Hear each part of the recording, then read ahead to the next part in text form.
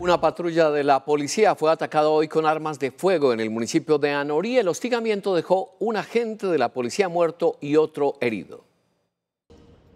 Con ráfagas de fusil fue atacada una patrulla de la policía de carabineros en zona rural de la vereda La Plancha en el municipio de Anorí. Como resultado de este ataque demencial, pierde la vida un patrullero de nuestra institución y resulta otro herido quien eh, fue trasladado de forma inmediata por unidades de la Fuerza Aérea al Hospital Pablo Tobón Uribe, en donde en estos momentos está siendo intervenido. Las autoridades atribuyen el ataque a la compañía Héroes de Anorí del ELN. Al parecer pretendían ingresar al espacio territorial de capacitación y reincorporación de las extintas FARC, pero la patrulla que vigilaba el lugar lo impidió.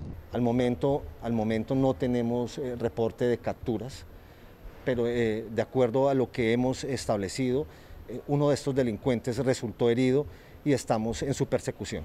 El policía herido fue trasladado a un hospital de Medellín y tuvo que ser intervenido quirúrgicamente. El patrullero que perdió la vida fue identificado como Jimer Andrés Pardo Hernández.